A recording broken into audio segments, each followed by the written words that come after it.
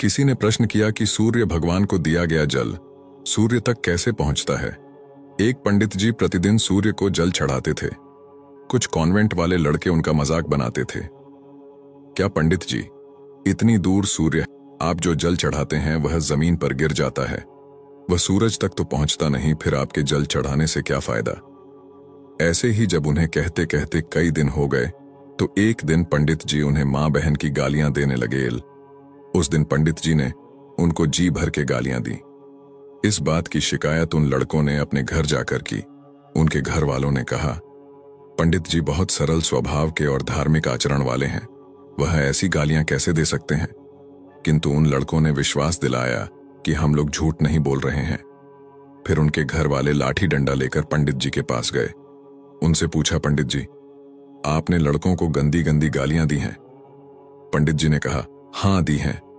वह लोग बोले, आप कर्मकांडी और धार्मिक व्यक्ति हैं। हम आपका सम्मान करते हैं।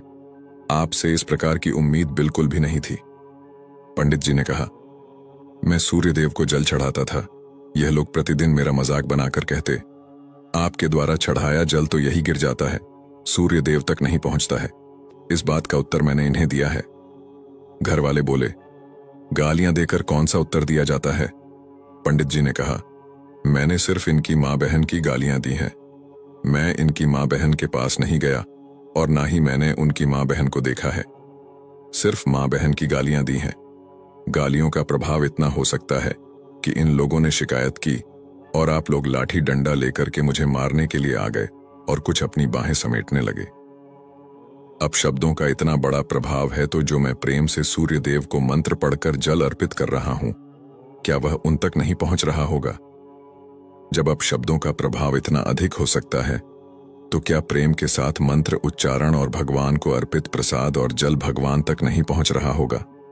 पंडित जी की यह बात सुनकर वह सब लोग उन्हें प्रणाम कर वापस चले गए।